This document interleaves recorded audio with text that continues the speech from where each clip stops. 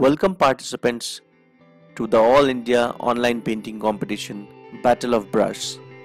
In this competition, you have to go to this link kalakritisoa.com bob.html. You will find all information related to this contest. This time we don't have any theme. This is a open competition. You can draw anything and there is no restriction on medium. You can use any type of colors or pencil sketch the age limit is 4 years and above. Anyone can participate from 4 years and above. Uh, you can find the prescribed fee for different groups. Now you can click on the submit button and you will fall into this form. You just fill up all the details. Your basic details you need to fill.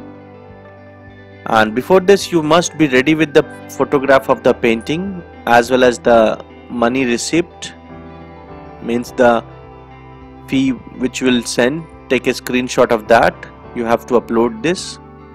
Apart from that you have to upload one more picture your photograph.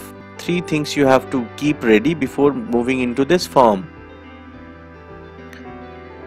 And once you go through this form you will find entire details. You just go through this fill this form.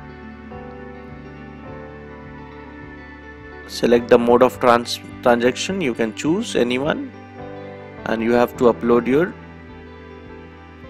pictures in this and ensure that your picture will be less than 1 MB as if you'll uh, put up any picture try to upload any picture which is more than 2 1 MB then it will give you an error message. I'll show you how.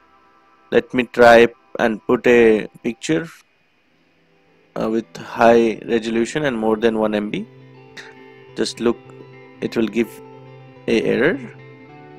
Uh, let me do this first and after that I'll show you. Now I'll try to upload a picture with high resolution. Look, look the error message is coming maximum size exceeds. So you have to upload your picture less than 1 MB and you have to upload it. All the pictures got uploaded. Now you have to select the details where you got this information about this contest.